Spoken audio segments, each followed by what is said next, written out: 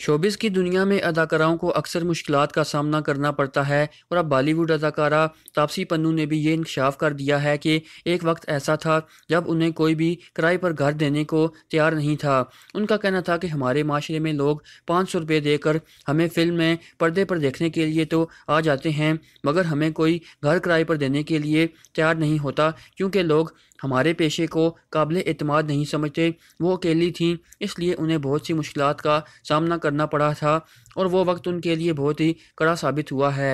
अदाकारा तापसी पन्नू का मजीद कहना था कि शोबिस इंडस्ट्री में अपना मुकाम हासिल करने के लिए मैंने बहुत मेहनत की और बहुत सख्तियाँ बर्दाश्त की हैं। उनका तल्लुक भारत के शहर दिल्ली से है और जब वो भारतीय फ़िल्म इंडस्ट्री में काम करने की गर्ज से दिल्ली से हैदराबाद आई तो उन्हें एक माह तक कोई अपार्टमेंट किराए पर नहीं मिला था।